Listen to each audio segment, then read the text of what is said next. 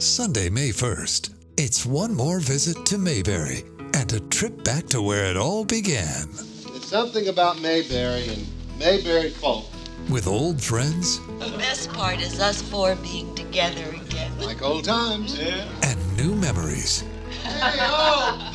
Return to Mayberry. Memories of old times and old friends. Sunday, May 1st at 8, 7 Central on MeTV.